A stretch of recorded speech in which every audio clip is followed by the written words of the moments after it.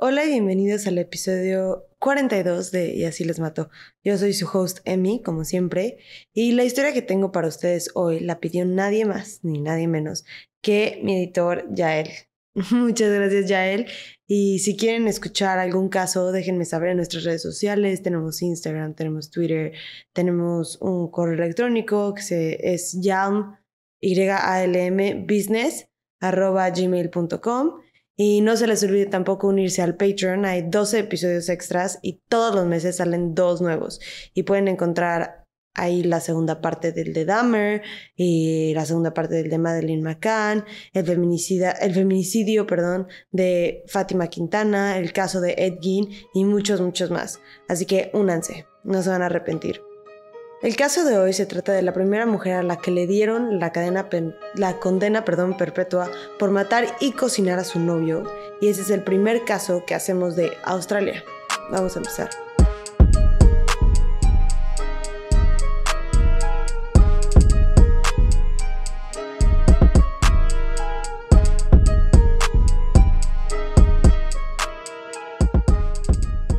Esta historia toma lugar en Aberdeen en 1940 con Jack Rohan y su esposa Barbara. Aberdeen era un lugar chico y uno de los grandes escándalos en el pueblo fue el amorío de Barbara con Ken Knight, un compañero de trabajo de Jack. La pareja se separó y Barbara se convirtió en Barbara Knight. Ken y Barbara tuvieron cuatro hijos, dos niñas y dos niños, y entre las mujeres estaban Catherine, Mary Knight, y su gemela, quienes nacieron el 24 de octubre de 1955. Las infancias en este tipo de familia en ese entonces, que eran de clase baja, se movían constantemente, se mudaban para encontrar trabajo, eran infancias bastante complicadas, porque había un ciclo de abuso que se repetía de generación tras generación.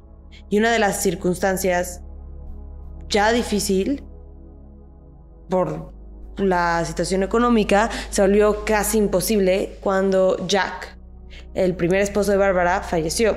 Porque ahora Bárbara se tuvo que hacer cargo no solo de sus cuatro hijos con Ken Knight, pero de sus primeros cuatro con Jack.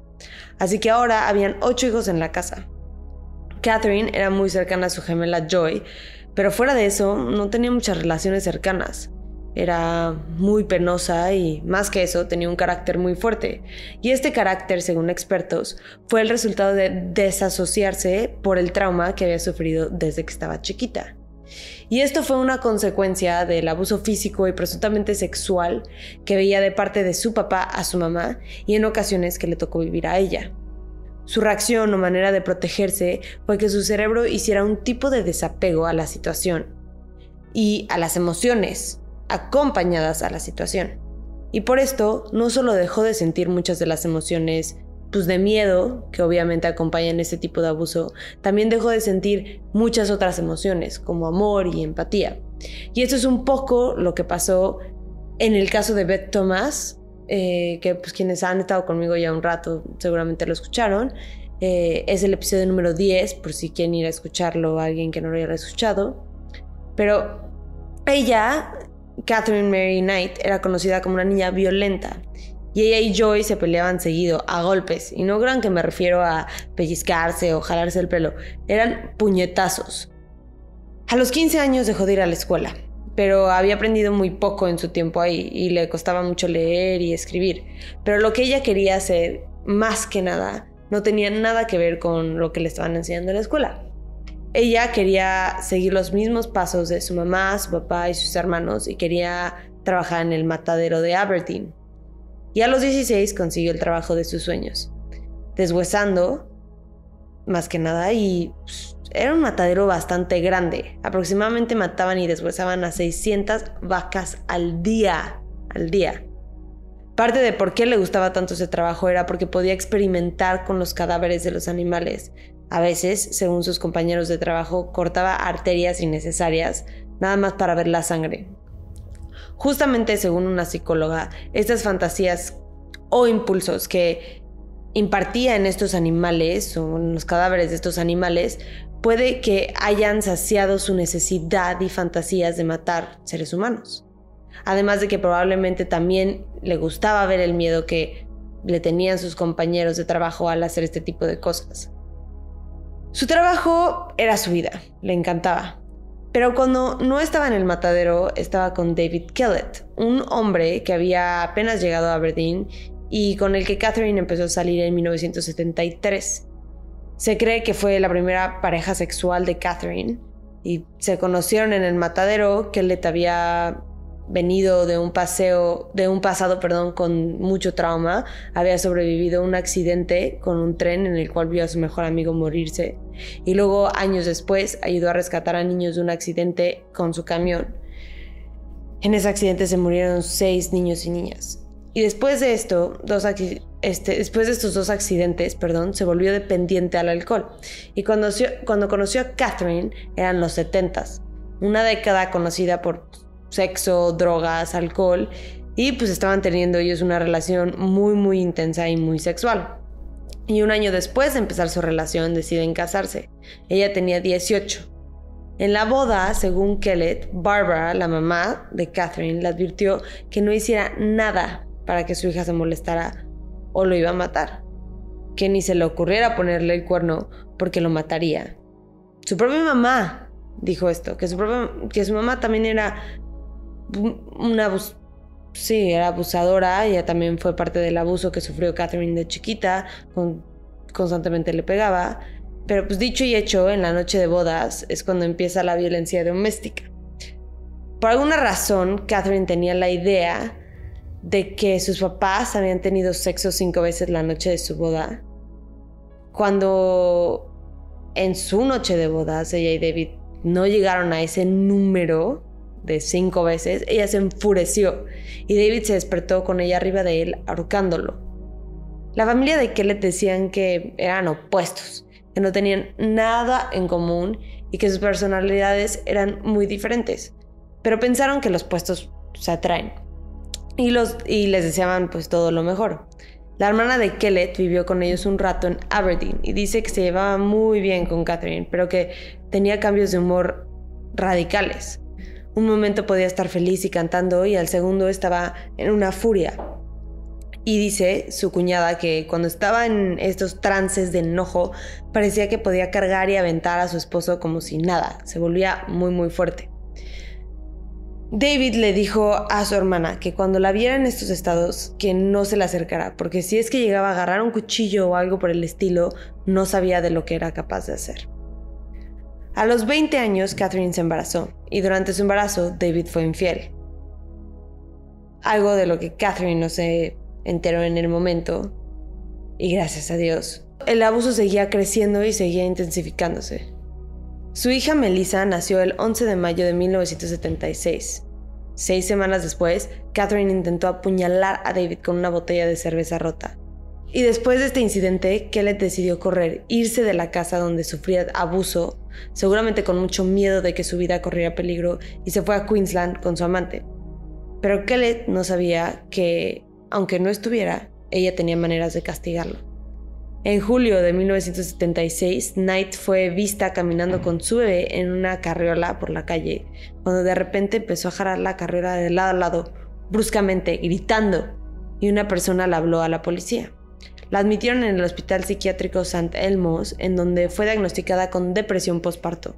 Estuvo en, el, hospital un par de semanas recuperándose, pero cuando salió al parecer no había cambiado mucho su comportamiento. Seguía enojada y David seguía sin aparecer. Así que un día dejó la carriola de su hija con su hija adentro en medio de las vías de un tren.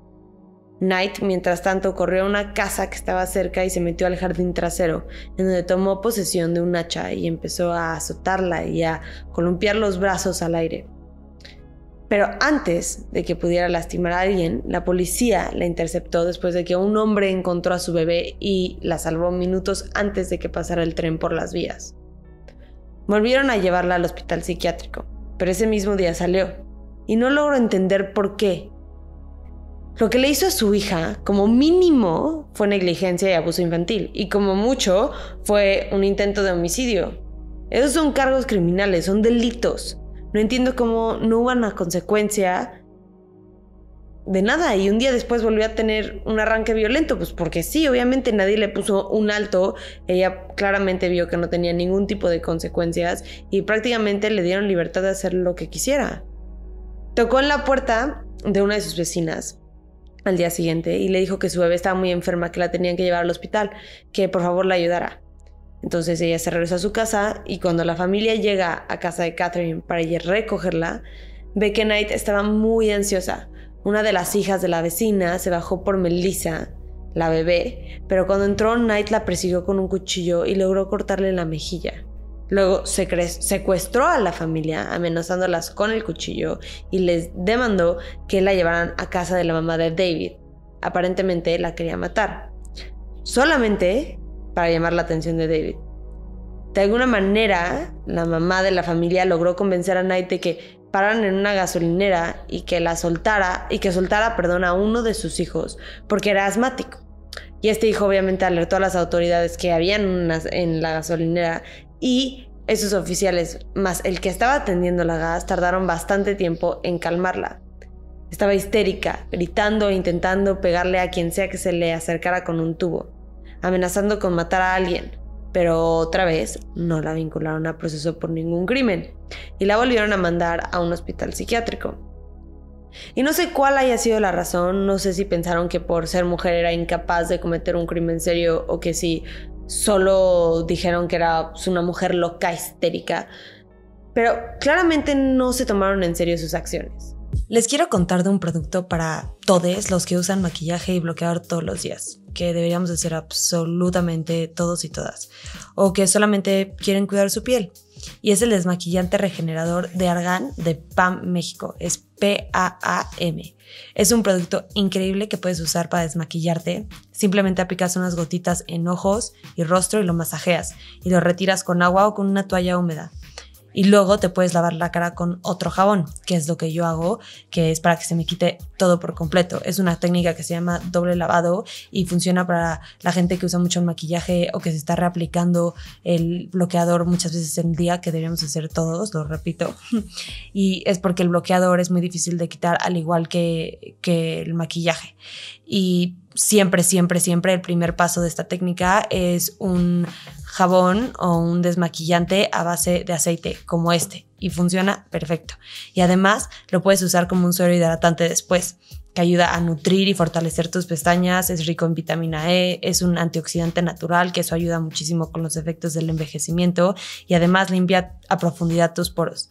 Y ahorita lo pueden conseguir con un 10% de descuento cuando usas nuestro código que es YALM10 es Y-A-L-M-10.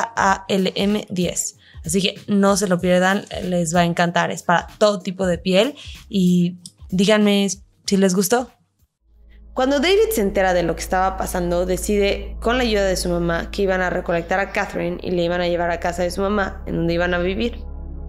La señora a la que quería matar, justo a esa misma. Y ellos dos la iban a cuidar. A ella y a su hija, ellos la iban a cuidar.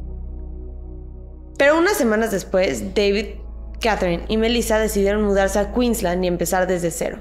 David encontró un trabajo manejando camiones de carga y Catherine encontró un trabajo en un matadero ahí cercano. Y aparentemente cuando consigues uno de estos trabajos, al menos en ese entonces, te daban un set de cuchillos. Y Catherine amaba sus cuchillos, los llevaba a todos lados. Aparentemente hasta los colgaba arriba de su cabecera al dormir se volvió como una obsesión, un claro indicador analizándolo de ahorita de que sus fantasías estaban creciendo. Pero los cuchillos no, no fueron lo único o el único comportamiento alarmante. Sandy, la hermana de David, una vez escuchó que su sobrina, o sea, la hija de David y Catherine, estaba llorando y llorando en el baño. Y eran, estaba llorando a gritos. Obviamente, pues se acercó para ver qué pasaba y cuando abrió la puerta vio a Catherine sosteniendo a su hija abajo del agua hirviendo. Sandy le contó lo que había visto a su hermano y él le contestó que por favor no dijera nada. Especialmente a Catherine porque era capaz de matarla a ella mientras dormía y probablemente a él también. Este hombre vivía en un miedo constante de esta mujer y mucha gente lo sabía. No entiendo por qué no se hizo más al respecto, no se hablaba más del abuso. Y para nada estoy juzgando, ¿eh? que, que claro, solamente siento que este fue un caso en el que no se tomaron en serio las amenazas y el abuso simplemente porque ella, siendo mujer, era la abusadora y él, siendo el hombre, era la víctima. Y esto es una dinámica mucho más común de lo que pensamos.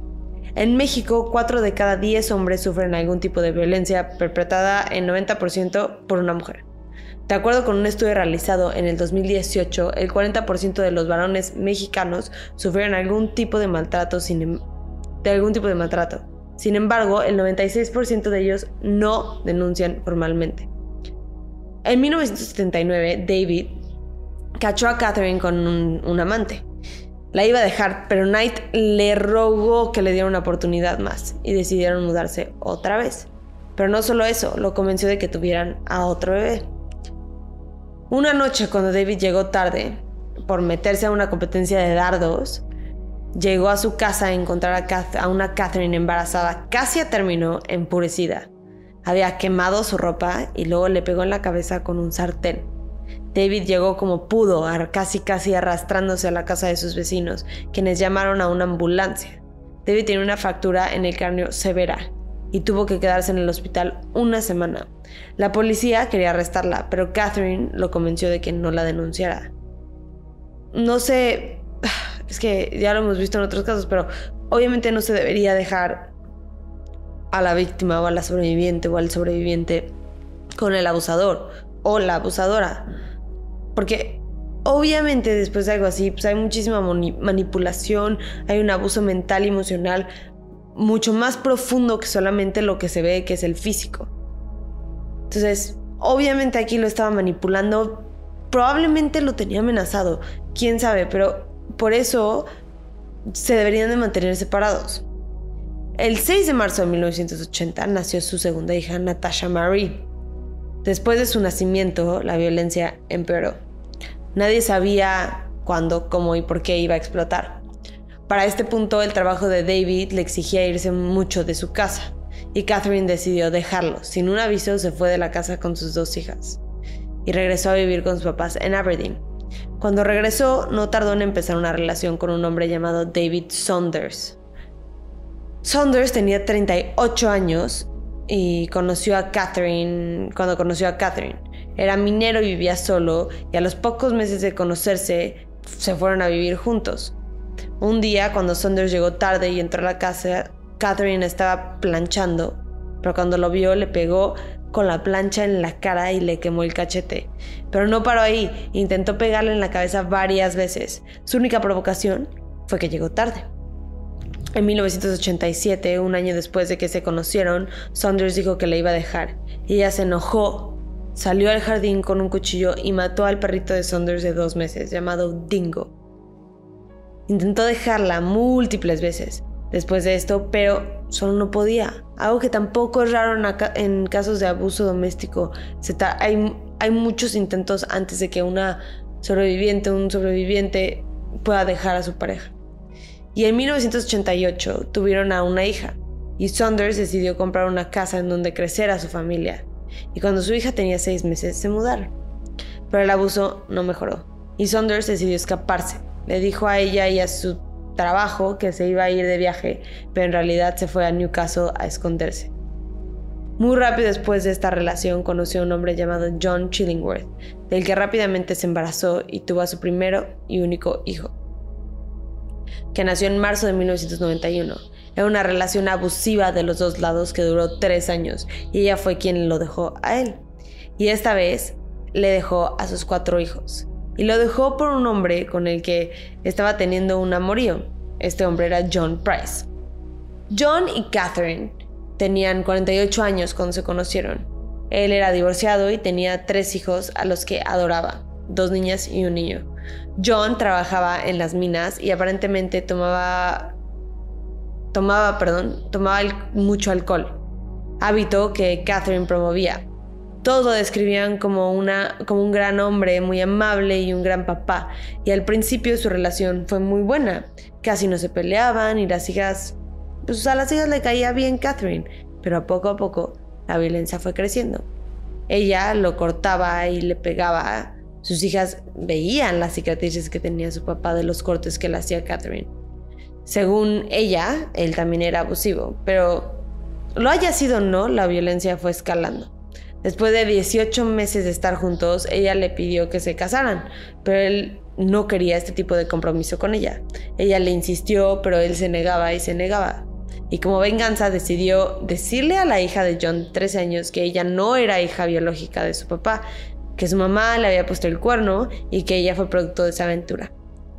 Era como lastimar a la hija para lastimar a John. Esa era su técnica de venganza. También Catherine había empezado a, tratar la casa de John como la suya, porque ahorita no estaban viviendo juntos oficialmente, pero cada vez se quedaba más y más tiempo en casa de John. Y a John esto no le parecía. Luego se enteró de que John no lo había puesto en su testamento y como respuesta a esto decidió grabar un video de varias cosas que se había robado de su trabajo. Eran kits de primeros auxilios que ya no se usaban, que los tenían ahí tirados en una bodega y que decidió llevárselos él. O sea, no fue nada grave, no se estaba robando dinero. O sea, eran cosas que ya no se usaban. Pero por esto lo despidieron. Llevaba trabajando en las minas más de 15 años. Fue un golpe muy duro para él económicamente y emocionalmente, y después de esto decidió regresar con ella. Fue un momento probablemente de debilidad, probablemente ella lo manipuló mucho, probablemente él estaba triste, tenía miedo de estar solo, quién sabe. Con sus hijas menores ya en la escuela, Catherine empezó a disfrutar de su casa más. Y en su casa tenía un cuarto con animales muertos pieles, cabezas, cuernos, todo lo que se imaginen. Y este obviamente era su cuarto favorito. Ah, también habían hachas, cuchillos y cosas raras como máquinas de mataderos. Muy extraño. El domingo, Knight y John tuvieron una pelea muy escandalosa y violenta a la que respondió la policía. El lunes fue a trabajar y le enseñó a sus compañeros las cicatrices de donde Knight lo había acuchillado previamente. O sea, ya eran cicatrices. El martes le pidió permiso a su jefe que lo dejara ir a la estación de policía, hacia la corte, este, a la casa, sí, a la corte para ver qué podían hacer para mantener a Knight alejada de él y de sus hijas. Y les dijo a su, y en algún punto les dijo a sus compañeros, si no regreso mañana a trabajar es porque me mató. Pero la policía le dijo que tenía que esperar mínimo tres semanas para poder hacer algo, tomar alguna decisión, que un juez tomara alguna decisión. Pero él sabía que no tenía tanto tiempo. Sus amigos y compañeros le rogaron que no se fuera a dormir a su casa, pero dijo que tenía miedo de que le hiciera algo a sus hijas. Y se tenía que ir. Cuando llegó a su casa, se dio cuenta de que sus hijas no estaban y Catherine les había dado permiso de que fueran a una pijamada. John llegó y se durmió. Catherine llegó a la casa como a las once y media pm y lo encontró dormido. Ella se bañó, vio la tele y se puso lencería negra nueva y se acostó. Tuvieron relaciones sexuales y cuando se había acabado y cuando habían acabado fue el momento en el que Catherine decidió matarlo con un cuchillo. Al siguiente día, sus compañeros de trabajo se asustaron cuando no llegó a trabajar, cuando no llegó a trabajar puntual y siempre era puntual y decidieron mandar a alguien para que checaran que estuviera bien. Cuando llegaron nadie contestó el timbre y vieron sangre en el piso, así que llamaron a la policía. Cuando la policía llegó al domicilio, entraron a la, a, la fuerza, obviamente, y encontraron a Catherine en la cama inconsciente. Se había tomado varias pastillas que la habían incapacitado y la llevaron al hospital. Para la escena del crimen, fue una cosa muy difícil que investigadores que llevaban mucho tiempo eh, pues viendo escenas del crimen, investigando homicidios y crímenes similares, se traumaron. muchos tuvieron que tener terapia. Después muchos lloraron después de ver, o sea, fue, era una escena del crimen bastante traumática. Nunca habían visto algo así. El cuerpo de John había sido acuchillado 37 veces. Encontraron rastros de la sangre por toda la casa, lo que piensan que intentó correr y llegó hasta la puerta principal, pero ella lo agarró y lo volvió a meter. Tenía este, heridas en la parte frontal de su cuerpo y en la parte trasera. Eh, y sí, se tardó horas en desangrarse. Además, Catherine lo había desollado y decapitado, usando pues, los conocimientos que había aprendido en sus trabajos en el matadero. Después de esto, cocinó partes de su cuerpo, incluyendo la cabeza, la cual encontraron en una olla con verduras. El traje de piel que le quitó toda la piel estaba colgando de un gancho atrás de una puerta. Las otras partes del cuerpo que cocinó estaban en, en dos platos. Había puesto dos lugares en la mesa. El plato tenía verduras, era toda una comida. Y unas notas para las hijas de John. Bueno, para el hijo y la hija. Una de las hijas no la incluyó. Y de el hijo y la hija, que sí incluyó, había tomado todas las fotos y las había cortado y las había rayado. Presuntamente quería que sus hijas, su hija y su hijo, perdón, sin su conocimiento se comieran a su papá. Encontraron un tercer plato tirado en el jardín y piensan que Catherine intentó comerse ese platillo, pero simplemente no pudo. Y en su frustración y enojo lo tiró al jardín. En Australia nadie había escuchado de semejante crimen, y menos por parte de una mujer. Así que los detalles del crimen se contaron como pan caliente y una de las hijas de John se enteró cómo había sido el asesinato de su papá por medio de un periódico. Cuando Catherine se despertó, dijo que no tenía memoria de lo que había hecho, pensando que esto la iba a absolver de cualquier consecuencia. Pero en su entrevista sí admitió que había apuñalado a John meses antes. Su historia es que él la había atacado y ella estaba lavando platos y en ese momento tenía un cuchillo en la mano y solo se defendió poniéndolo enfrente, pero que fue todo un accidente. Obviamente su defensa iba a ser que no tenía que, que, tenía una este, enfermedad mental y que no se acordaba de lo que había hecho y que no había sido realmente ella y que lo que ella necesitaba era tratamiento médico. Pero había evidencia que contradecía que esto había sido un ataque de una persona enferma y que claramente demostraba que este crimen lo había cometido una persona pensante y coherente. Por ejemplo, después del asesinato, manejó una distancia considerable a un cajero y sacó mil dólares de una tarjeta de John. Y luego regresó a la escena del crimen. También le había dicho a su hermano que iba a matar a John y que lo iba a hacer de una manera para que piensen todos que estuviera loca. El 18 de octubre del 2001, Catherine se declaró culpable por el homicidio de John Price y la sentenciaron a vida en prisión sin la posibilidad de libertad condicional. Decisión que ha sido sostenida en las apelaciones y que en mi opinión fue la correcta.